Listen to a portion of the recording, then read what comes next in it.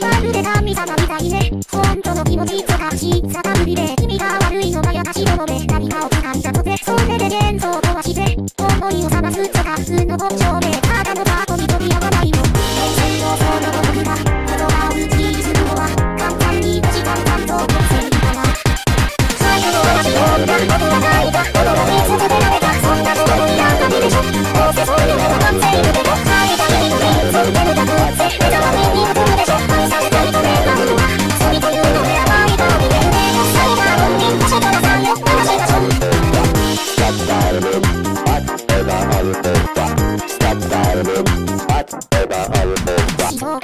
想が乾いた私どこが神様なんでしょ遠くに神とかなくなっても演じているともつゆ知らずにね。それでもこのストーリー終わりにせずにいるのは変わらず耳を傾けている君に届いてほしいと願っているの。そうせる時間さばくの心拍が離れてきた悪感も受け入れる覚悟を持つから